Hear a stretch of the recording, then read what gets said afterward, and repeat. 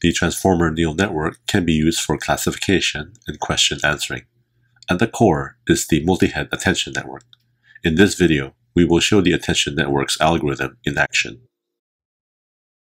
The question encoder, answer encoder, and decoder are all attention networks. They need embeddings as input. This can be the question embedding or the answer embedding. Let's see how this all works. Words are tokenized and assigned vectors stored in embeddings. Embeddings connect to linear layers, which are single-layer neural networks that project words. We have two types of embeddings, the question embedding and the answer embedding. We apply positional encoding to take into account positional information for each word. The question embeddings provide input to the question encoder, where it creates three projections. The answer embeddings provides input to the answer encoder, where it also creates three projections. The output of the answer encoder provides input to the decoder, where it creates one projection. The output of the question encoder provides input to the decoder where it creates two projections.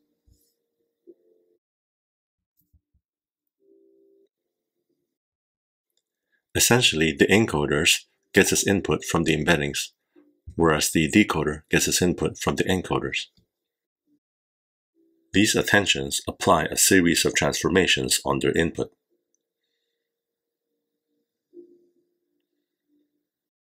These transformations are broken down into multiple simultaneous projections. From an implementation standpoint, the input matrix is broken down into multiple heads, where projections are independently applied.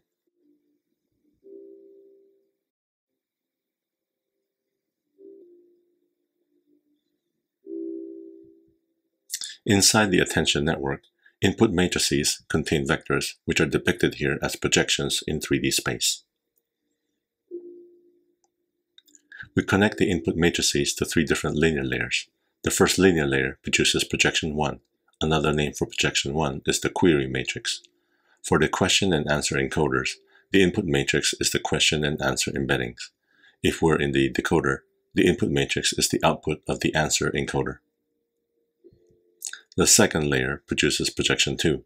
Another name for projection 2 is the key matrix. For the question and answer encoders, the input matrix is the question and answer embeddings.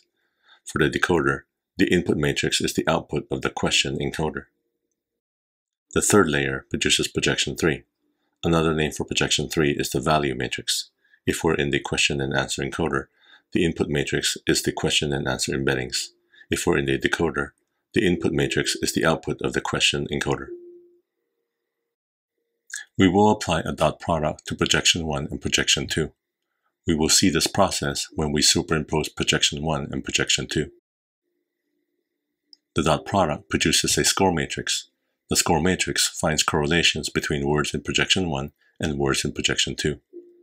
For the answer encoder, we will apply masking on the score matrix results as we're only interested in the correlation between the word and the words to follow. In all cases, we will be normalizing and applying softmax on the values of the score matrix. Next, we will apply a dot product to the score matrix in projection 3.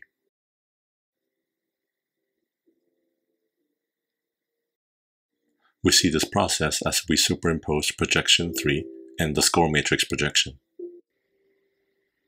The result will be another transformation. The resulting vectors will be stored into the encoded matrix. These are results derived from attention head 1. There are also projections happening in attention head 2, as well as attention head 3.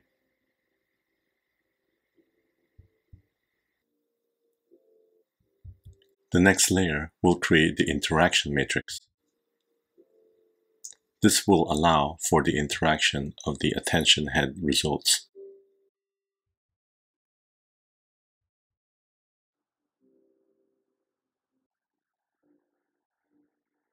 Next, we will connect the interaction matrix to a fully connected neural network. This will have an inner layer with higher dimensions to allow the attention network to explore features in higher dimensional space. This will produce an output matrix.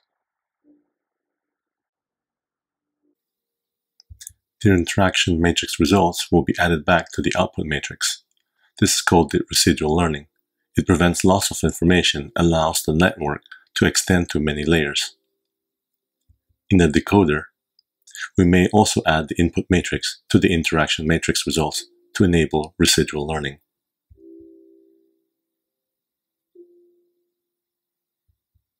Zooming out, we see that the different heads of the attention network is performing all operations we just described. At the end, all the results of the different heads are concatenated together to form the attention head's output matrix. This concludes this video. Thanks for watching. See you soon.